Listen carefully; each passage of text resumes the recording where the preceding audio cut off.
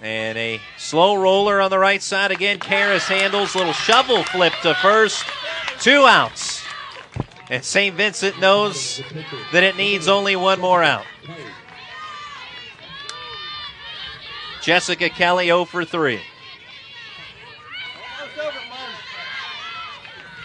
Where'd you get that? Where'd you get that mount? Oh, okay. Let's get you caffeine.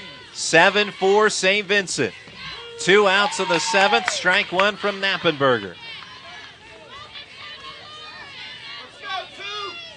Knappenberger, the Sarver PA native, Knoch High School product, freshman at St. Vincent, trying to finish it off.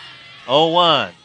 Roller on the left side. Two hopper fielded by Miller. Throw to first on a hop in time. And the St. Vincent Bearcats, the 2019 PAC softball champions.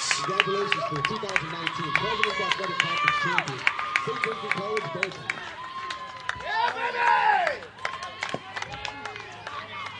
Knappenberger coming in, Randy.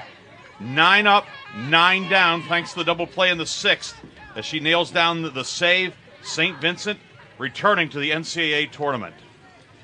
Thiel disheartened as you might figure, watching on along the third base line. Valiant effort by the Tomcats is now high fives around here behind home plate. But uh, Thiel, uh, great effort to get to this point as the two seed, but they come up short as St. Vincent celebrating its second softball championship in the President's Athletic Conference. And now let the real celebration begin.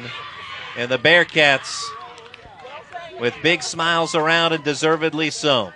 We are going to take a break and we're going to try and stick with you for a little while, get you the uh, all tournament team if we can. And so we will pause for a break and also hope to have some of that celebration as well. St. Vincent 7, Thiel 4. And we will be back as, uh, again, we are a final. St. Vincent PAC champions. We'll return in a moment on the PAC Sports Network.